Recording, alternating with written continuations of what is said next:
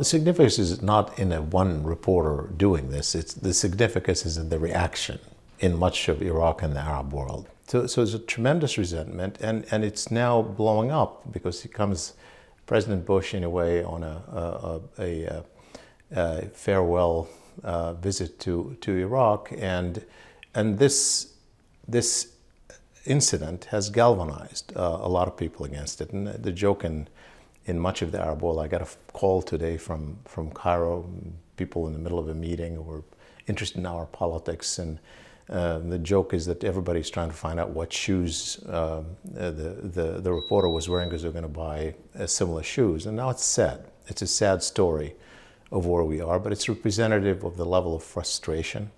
Uh, it's a reminder and a reminder that we shouldn't forget that the vast majority of people in the Middle East and around the world still think Iraq is a huge failure and that the Iraq war was a big mistake, that uh, we weren't in it for the right reason, and whatever the reasons, we didn't do it right.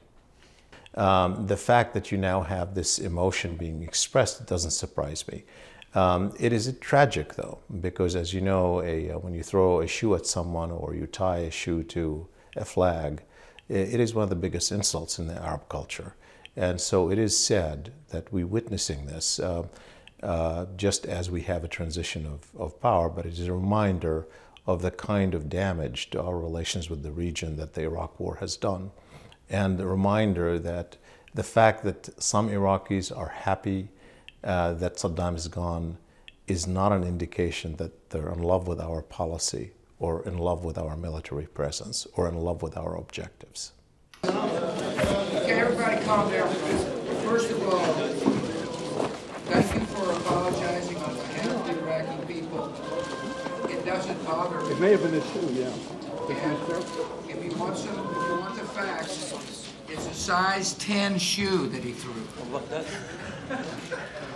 Actually, I think the president did well in, in dismissing it and dealt with it in a difficult situation in a good way. Uh, and in some ways, it is an, a small incident. I mean, any reporter can do that, and it's unfortunate that's not a role of a reporter. I think this little incident, uh, insignificant as it is, is going to be a symbol of the closing of that chapter in the relationship between Bush and Iraq, and it's a sad, sad chapter.